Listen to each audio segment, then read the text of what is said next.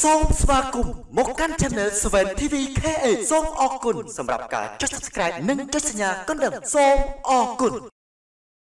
ខ្ញុំបាទសូមជម្រាបសួរពុកម៉ែបងប្អូនអស់លោកលោកស្រីនិងកញ្ញាជាទីគោរពនៅថ្ងៃនេះខ្ញុំបាទសូមនាំអារម្មណ៍ពុកម៉ែបងប្អូនតាមដានសម្ដាប់អំពីទំនាយរបស់អ្នកដែលកើតក្នុងឆ្នាំមមែសម្រាប់ឆ្នាំ2023ដែលខ្ញុំបាទតែងតែធ្វើការដកស្រង់និងអានជូននៅក្បួនហោរាសាស្ត្រទូទីចិនសែដ៏ល្បីឈ្មោះដូចនេះសូមពុកម៉ែបងប្អូន comment លេខសំណាងមាសដុល្លារ678និងសរសេរសាធុសាធុចំនួន3ដងឬធ្វើការស្ទះចេញភ្លាមភ្លាមដើម្បីទទួលបានលេខទំជោផ្ទះនិងសំណាងតាមជាប់ខ្លួនជារហូតដូចនេះក្បាត់ខាប់ពេលវេលាយូរសូមពុកម៉ែបងប្អូនតាមដានតាមដាប់អំពីទំនាយរបស់អ្នកដែលកើតក្នុងឆ្នាំមមែសម្រាប់ឆ្នាំ2023ជាមួយ7 TV KH Channel យើងខ្ញុំដូចតទៅឆ្នាំមមែពពែធាតមាសពងទេវតាស្រីតាមគួរហារាសាស្ត្រគឺជាឆ្នាំសត្វទី8ក្នុងចំណោមរាសីឆ្នាំសត្វទាំង12ឬចក្រវាលសត្វទាំង12របស់ចិនគឺឆ្នាំសត្វកណ្ដុរគោខ្លាទន្សាយនាគពស់សេះពពែស្វាមួនឆ្កែនិងជ្រូកមនុស្សកើតក្នុងឆ្នាំមមែគួរប្រើលេខបញ្ចប់ដោយ3 4 7 8មនុស្សដែលកើតក្នុងឆ្នាំមមែសុទ្ធតែមានវាសនានៃធាតុទាំង5នៃផែនដីលេខ7និងលេខ8ជារបស់ធាតុគីមផែនដីផ្ដល់កំណើតដល់គីមដែលជាភពសំណាងបានចូលវាសនារតនសម្បត្តិមានពេញកិត្តិនាមនិងមានទ្រព្យសម្បត្តិការប្រើប្រាស់លេខទូរស័ព្ទដែលមានលេខកន្ទុយ7ឬ8គឺស័ក្តិសមបំផុតសម្រាប់វាសនារបស់សត្វទាំងនេះក្រៅពីនេះលេខ3និងលេខ4ជាធាតុភ្លើងអគិភ័យផ្ដល់កំណើតដល់ផែនដីមានភាពរុងរឿងសុខភាពនិងស្មារតីផងដែរលើសពីនេះលេខទាំងនេះនាំមកនូវភាពរីករាយសំណាងល្អហុងស៊ុយក្នុងផ្ទះស្វាគមន៍ជាបន្តបន្ទាប់ឆ្នាំមមែតាក្បួនហុងស៊ុយគឺត្រូវនឹងលេខ2និងលេខ7មនុស្សឆ្នាំទាំងនេះបើតាំងលំអផ្កានៅក្នុងផ្ទះនឹងនាំមកនូវភាពសុខសប្បាយដល់ក្រុមគ្រួសារខែល្អសម្រាប់ឆ្នាំមមែគឺខែសីហានិងខែវិច្ឆិការួមទាំងទិសខាងជើងផងដែរសរុបមកលេខសំណាងរបស់ឆ្នាំមមែគឺលេខ678ពណ៌សំណាងគឺពណ៌ក្រហមនិងពណ៌ស្វាយនិងពណ៌ត្នោត ទំនាយទូទៅសម្រាប់អ្នកដែលកើតក្នុងឆ្នាំមមែក្នុងឆ្នាំ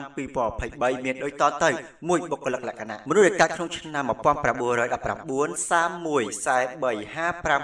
67 79 1991 2003 2015 2027តាមធម្មតាអ្នកដែលកើតក្នុងឆ្នាំមមែជាមនុស្សស្អាតគួរឲ្យស្រឡាញ់តាក់ទាញនិងមានគេចូលចិត្តច្រើនបើទោះបីជាករណីភាគច្រើនពួកគេជាមនុស្សរស់រាយរាក់ទាក់ក្នុងសង្គមតែពេលខ្លះពួកគេអាចជាមនុស្សស្ងៀមស្ងាត់ផងដែរហើយអ្នកកើតក្នុងឆ្នាំមមែនេះយើងអាចនិយាយបានថាពួកគេជាមនុស្សចិត្តល្អឆាប់រំជួលចិត្តនិងជាមនុស្សដែលជាអ្នកអសូរអ្នកអតីជាធម្មតាមនុស្សទាំងនេះចាប់អារម្មណ៍លើវិថីសិល្បៈធម្មជាតិបព្វធម៌ដូច្នេះពួកគេក៏មានជំនាញខាងផ្នែកសិល្បៈឬភាពច្នៃប្រឌិតពីកំណត់ផងដែរម្យ៉ាងវិញទៀតសោតមនុស្សទាំងនេះអាចងាយជាមនុស្សទុតិធិនិយមនិងចូលចិត្តរអ៊ូរទាំច្រើនជាធម្មតាមនុស្សកើតក្នុងឆ្នាំមែជាមនុស្សងាយនឹងភ័យខ្លាចនិងគ្មានទំនុកចិត្តលើខ្លួនឯងតែទោះបីយ៉ាងណាក៏ដោយចំពោះរឿងស្នេហាពួកគេមានសេចក្តីសុខឲ្យតែស្នេហាមានភាពស្មោះត្រង់នឹងគ្នាអ្នកកើតក្នុងឆ្នាំមមែដែលមានសត្វសំណាងគឺសត្វពពែគឺជាមនុស្សដែលមានចរិតស្ងប់ស្ងាត់សុភាពរាបសារទៀងត្រង់ហើយក៏ចិត្តបុណ្យផងដែរពូកែអនុសូរដល់អ្នកអតីទៀតផង ដោយហេតុតែចរិតស្លុតបូតទៀងត្រង់នេះហើយ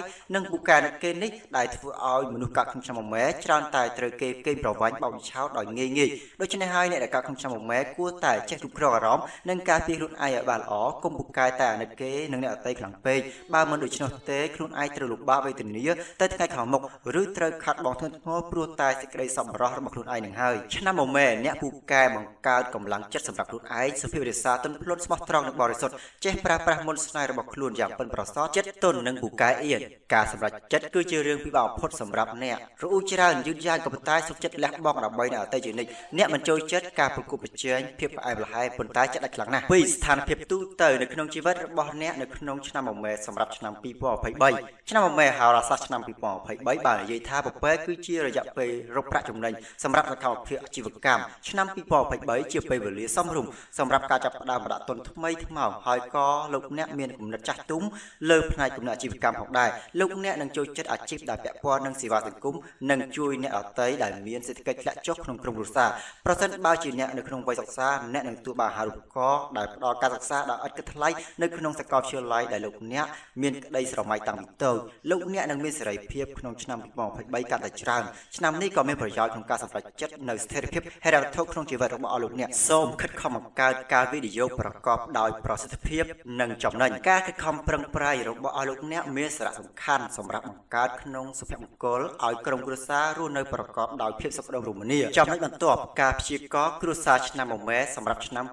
2023ឆ្នាំ2023ផ្ដល់ឱកាសល្អដើម្បីលើកកម្ពស់សុភមង្គលនិងគ្រួសាររឹងមាំជាមួយភាពសុខដុមរមនារួមជាមួយសុភមង្គលនៅក្នុងទំនាក់ទំនងរវាងសមាជិកទាំងអស់នៅក្នុងក្រុមគ្រួសារក្នុងឆ្នាំនេះលោកអ្នកមិនមានពេលឬក៏អាចចំណាយពេលវេលាច្រើនដើម្បីផ្ដល់ឲ្យក្រុមគ្រួសារនោះឡើយព្រោះដោយសារលោកអ្នកមានកាតព្វកិច្ចមមាញឹកនៅក្នុងអាជីពទោះបីយ៉ាងណាក៏ដោយដល់ពេលវេលាដែលលោកអ្នកត្រូវលះបង់ចំណាយពេលវេលាខ្លះដើម្បីសុខុមាលភាពរបស់កុមារនិងទទួលបានការថ្នាក់ថ្នមពីពួកគាត់សមាជិកក្នុងគ្រួសារអភិជនក៏មានអារម្មណ៍រីករាយផងដែរប្រសិនបើអស់លោកអ្នកចំណាយពេលខ្លះជាមួយកូនកូននិងថែរក្សាពួកគាត់រួមទាំងជួយដោះស្រាយបញ្ហារបស់ពួកគាត់ខ្លះៗការខិតខំប្រឹងប្រែងឲ្យអស់ពីសមត្ថភាពរបស់អស់លោកអ្នកមិនឥតប្រយោជន៍នោះឡើយវានឹងឈ្មោះទៅរកភាពស្និទ្ធស្នាលទ្វេដងនៅក្នុងក្រុមគ្រួសាររបស់អស់លោកអ្នកចំណែកឯសុភមង្គលក្នុងបរិយាកាសគ្រួសារនឹងផ្ដល់ផលប្រយោជន៍យ៉ាងច្រើនដល់ជីវិតរស់នៅរបស់អស់លោកអ្នកផងដែរចំណុចទី3ស្នេហានិងជីវិតគូរបស់អ្នកកាត់ឆ្នាំមមែសម្រាប់ឆ្នាំ2023បន្ទាប់ពីមមាញឹកនៅក្នុងជីវិតប្រចាំថ្ងៃកន្លងមកជារយៈពេលយូរមកពពែនឹងមានឱកាសច្រើននៅក្នុងឆ្នាំ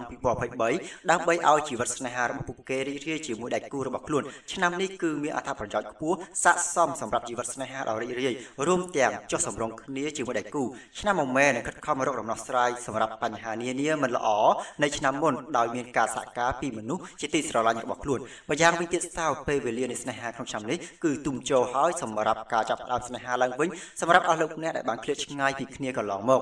វាជារឿងសំខាន់ក្នុងការថែរក្សាដៃគូស្នេហារបស់អស់លោកអ្នកធ្វើឲ្យគាត់មានភាពសប្បាយរីករាយទាំងផ្លូវកាយនិងផ្លូវចិត្តហើយជៀសវាងការធ្វើអ្វីមួយដែលប៉ះពាល់ដល់អារម្មណ៍របស់ដៃគូអស់លោកអ្នកធ្វើរឿងល្អៗខ្លះជាច្រើនជាមួយដៃគូស្នេហានិងបន្ថែមនៅទំនាក់ទំនងដ៏ត្រង់ប្រងរួមជាមួយនឹងសុភមង្គលជាមួយដៃគូរបស់លោកអ្នកផងដែរចំណែកឯសុភមង្គលមិនមែនជារឿងទុយតាចនោះឡើយសំខាន់ត្រូវផ្ដល់ពេលវេលាច្រើនដល់ដៃគូស្នេហារបស់លោកអ្នកជាហេតុបណ្ដាលឲ្យសុភមង្គលកើតឡើងដោយមិនដឹងខ្លួនលោកអ្នកត្រូវចេះយល់អារម្មណ៍របស់នាងផងអ្នកក៏អាចធ្វើការផ្សងព្រេងលើការធ្វើដំណើរកម្សាន្តដ៏រីករាយនិងមានពេលវេលាសម្រាប់ឲ្យគ្នាទៅវិញទៅមក3ខែដំបូងនៃឆ្នាំ2023គឺសមរម្យសម្រាប់ការកាត់បន្ថយភាពមមាញឹកពីជីវិតប្រចាំថ្ងៃរបស់លោកអ្នកហើយផ្សងព្រេងលើការធ្វើដំណើរកម្សាន្តដ៏រីករាយជាមួយដៃគូផងដែរនៅត្រីមានបន្ទាប់អ្នកគួរតែទម្លាប់ការរស់នៅតាមធម្មតាដោយជីវិតសពថ្ងៃហើយបង្កើតការទំនាក់ទំនងភាពជាដៃគូរបស់លោកអ្នកជាងសពមួយដងគឺគូគ្រាន់ណាស់ទៅហើយត្រីមានបន្ទាប់ទៀតលោកអ្នកចាំបាច់ត្រូវតែមានចិត្តស្ទុតិធិនិយម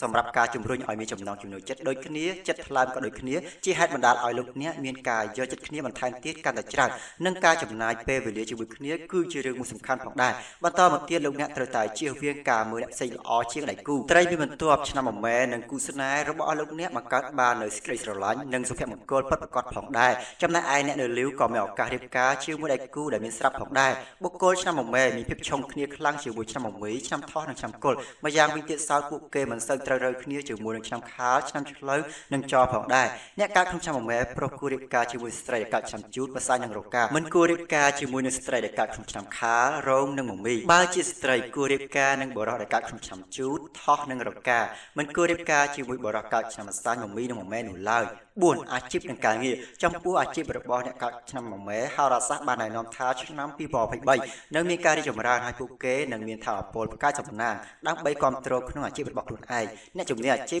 របស់ពពែអាចរីកចម្រើនក្នុងអាជីពរបស់ខ្លួនដោយសារតែសមត្ថភាពរបស់គេតែម្ដងចំណែកឯអ្នកបម្រើការងារត្រូវបានមេកាយបើកប្រាក់រង្វាន់ព្រមទាំងផ្ដល់ឋានៈទូនីតិផងដែរទំនាក់ទំនងការងាររបស់ឆ្នាំមមែជាមួយសហជីវឹកនិងមនុស្សចាស់នឹងមានភាពស្និទ្ធស្នាលខ្ពស់ជាងមុនហើយពួកគេនឹងគ្មានបញ្ហាក្នុងការពន្លឿនការងារដើម្បីបញ្ចប់គម្រោងដោយភាពជោគជ័យនោះឡើយ។ 5ហេរ៉ាវត្ថុឆ្នាំ2023ផ្ដល់ឱកាសមាសពិតប្រាកដសម្រាប់ពពែដើម្បីប្រមូលផលក្នុងការវិនិយោគលើវិស័យអាជីវកម្មម្យ៉ាងវិញទៀតសោតបើអស់លោកអ្នកបានអង្គប្រាក់សន្សំនៅកន្លែងណាមួយហើយដើម្បីយកការប្រាក់វានឹងមានផលចំណេញលើផ្នែកហេរ៉ាវត្ថុលើសពីការរំពឹងទុកក្នុងការវិនិយោគនៃប្រាក់សន្សំរបស់ខ្លួនផងដែររាល់ការបណ្ដាក់ទុនថ្មីទាំងអស់នឹងផ្ដល់ផលចំណេញយ៉ាងច្រើនវានឹងមិនមានបញ្ហាក្នុងការជំនះឧបសគ្គផ្សេងៗដែលពួកគេបានជួបប្រទះនៅតាមដងផ្លូវហេរ៉ាវត្ថុនោះឡើយពួកគេត្រូវតែមានភាពប៉ិនប្រសប់និងស្វែងរកឱកាសថ្មីៗសម្រាប់ការវិនិយោគនិងបង្កើតប្រាក់ចំណូលដ៏ភ្ញាក់ផ្អើលមួយជីវិតក្នុងឆ្នាំ2023ជោគជ័យពោពេញទៅដោយមាសប្រាក់ហូរហៀ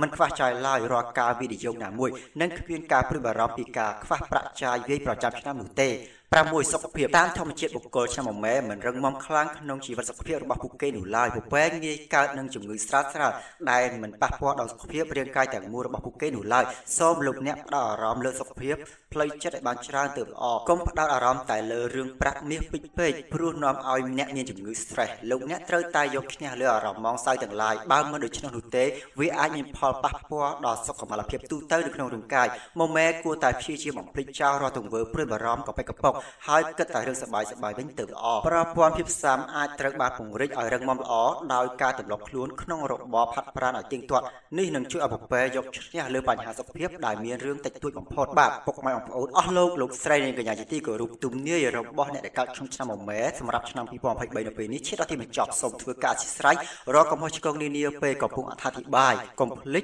ចុច Subscribe និងសញ្ញាកណ្ដឹងដើម្បីទទួលបានដំណឹងហោរាសាស្ត្រប្រចាំថ្ងៃប្រចាំឆ្នាំនិងទរណការថ្មីថ្មីគណៈពេលនេះខ្ញុំបាទសាវ៉ាន់ TV KH សូមប្រសិទ្ធពរជ័យបបមកប្រសើរជូនដល់អស់លោកលោកស្រីដែលកើតក្នុងឆ្នាំមមែសម្រាប់ឆ្នាំ2023នេះជួបពុទ្ធពរទាំង4ប្រការសូមប្រាថ្នាអ្វីឲ្យបានសម្រាប់ខ្ញុំបាទសាវ៉ាន់ TV KH សូមអរគុណនិងលំអោនកាយគោរពលា